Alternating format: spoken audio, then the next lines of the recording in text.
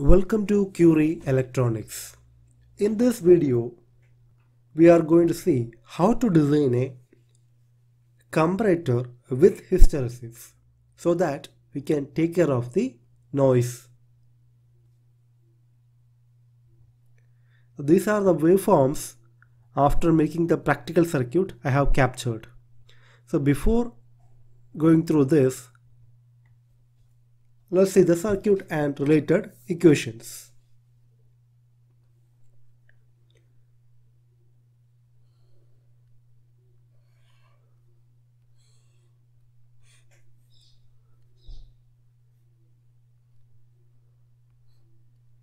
So it was a 5 volt and ground LM324 IC. I used one of the comparator of this IC. Inverting and non-inverting and inverting. So to the non-inverting terminal, two resistors are connected.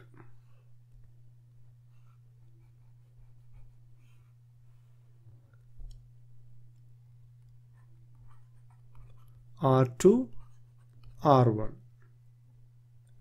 Here we will provide the uh, reference voltage.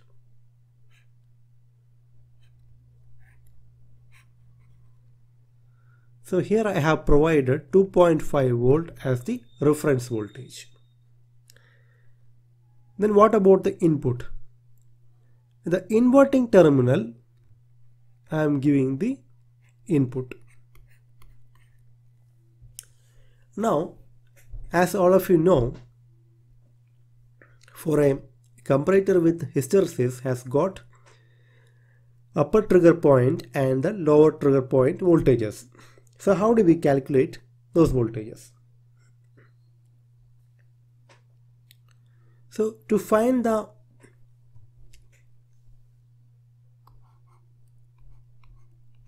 VH upper uh, let me write it as V UTP upper threshold point. There's the equation that is A, I will tell you what it is R2 upon R1 multiplied by Vref reference voltage. So our reference voltage was 2.5 volt plus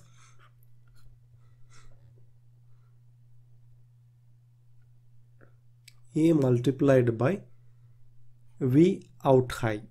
VOH so V out high. This is to find the upper threshold point. So what is A here? A equals 1 upon 1 plus R2 upon R1 R2 upon R1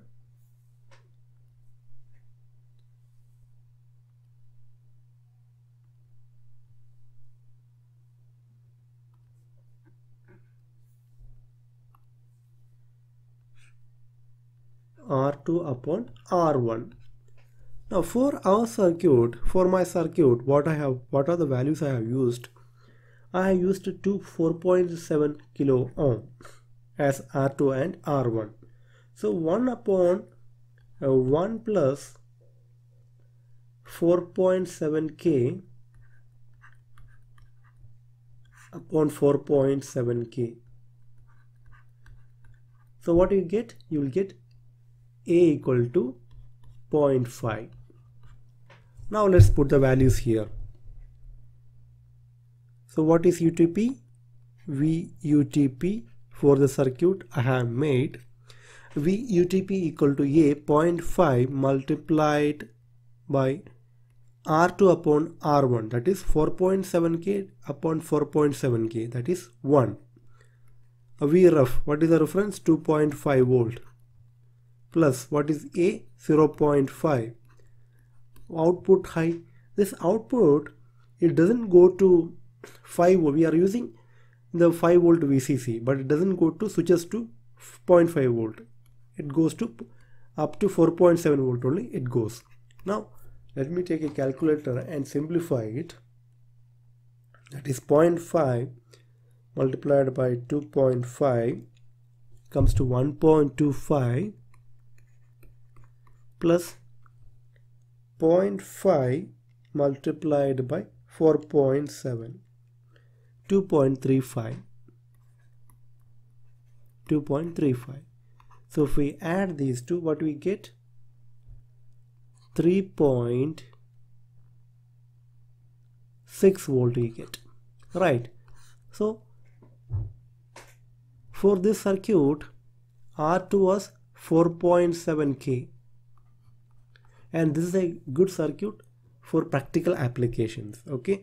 This 2.5 volt you'll be giving from a uh, preset or potentiometer so that you can vary it. So your uh, UTP and LTP also varies. This R1 also I have taken as 4.7k 3.6 volt. Now what about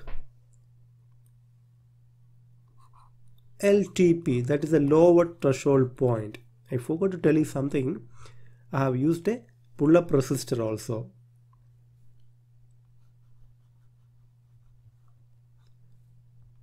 There's a 1k 1 kilo ohm pull-up resistor. So here we get the output. So VLTP uh, VLTP is also the equation is same. A multiplied by R2 upon R1 Vref only the difference is that here a multi instead of a multiplied by instead of VOH it is VOL here also the output doesn't go to zero the output goes to 0.9 volt so uh, let's let's put the values and calculate it so VLTP equals to A. What is A? 0.5.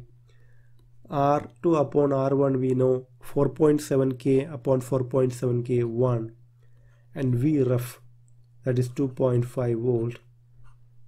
Plus what is A 0.5 and it goes to 0.8 volt or 0.9 volt let's take it. 0.5 multiplied by 2.5 already we have seen it's a 1 1.25 yeah it's 1.25 plus 0.5 multiplied by 0.9 that is 0.45 so which is equal to? It comes to 1.7 volt. So LTP is equal to 1.7 volt. Now what is the hysteresis? If you take the difference between UTP and LTP voltages, you will get the uh, hysteresis. hysteresis, we can say it's a hysteresis. I said some kind of noise. It's a it can uh, noise margin. It can take care of the noise. So 3.6 minus 1.7, how much it comes? it comes to 1.9 so here 1.9 volt is the noise margin. Now let's see the waveforms.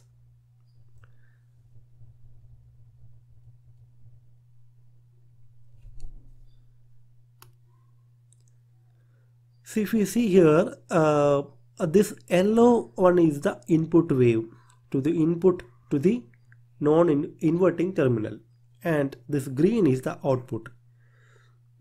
Now if you see here, this is the measurement cursor for the channel 1.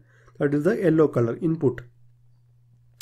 When input is here, this point, that is from input is growing from 0, 0, 0 it is going high. At 3.2 volt, see here the value is there, 3.3 volt. 3.3 volt, what is happening? uh, this output is switching to low. Output is switching to low. Uh, but after 3.3 volt volts what is happening? In the input waveform is increasing and it is coming back. It is decreasing. But at this point only it is changing. So here it is not changing okay? So at 3.3 volt the output is switching to low. Let's go let's see so here uh, here what I have to show you that is what is the output it is high. When the output goes to high what is the maximum voltage? So it is around 4.6 volt. So for the calculation I have taken it as 4.7 volt. What is low? When the when the output is low it is see from here this is the cursor point that is the ground level from there it is up to here. So what is the measurement? It's a 0.8 volt 0.8 volt. I have taken it as 0.9 volt for the calculation. So the value what we get there will be a slight uh, difference. It is due to the uh, the tolerances of the device and the voltage source. So here again here yeah and this is the at what voltage at 3 point here it is at 3.3 volt it is switching to low. I hope you understood.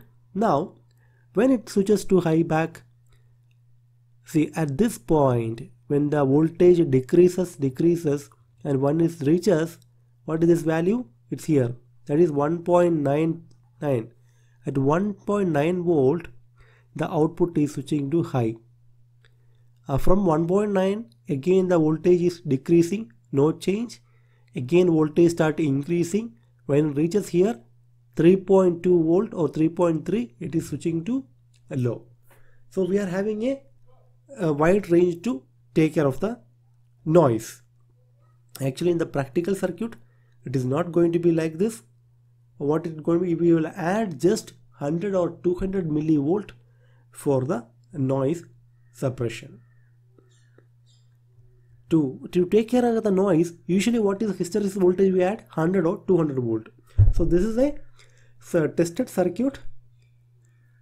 Uh, from that only I have captured this waveforms. Now before completing it how do you represent output and input of this hysteresis comparator? So here what is happening? Uh, now I'll initially assume that the output is high. Two points, let us take it. This is the 1.9 volt point and this is the 3.6 volt 6 volt. These are the UTP and LTP. So initially it was high. So when it reaches 1.9 volt, what, what happens? It continues to be high. High means this is what voltage? 4.7 volt. And here let us take it as 1.9 volt at this point. And then what happens? It continues up to 3.6 volt. It continues like that. At 3.6 volt what happens? The output drops to low. Right? The output is now here. The output is dropping to low. At 3.6 volt then again in the output uh, we are increasing the input voltage to up to 5 volt we can go. But if we go to 5 volt what is happening? It remains at 5 volt itself.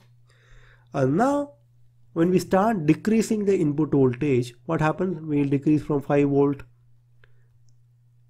Again we again we have reached 3.6 volt. Now what happens? Nothing happens. Because this is a hysteresis region. Output stays there itself irrespective of the input. At 0.9 volt what happens? It switches. The output switches to where? High.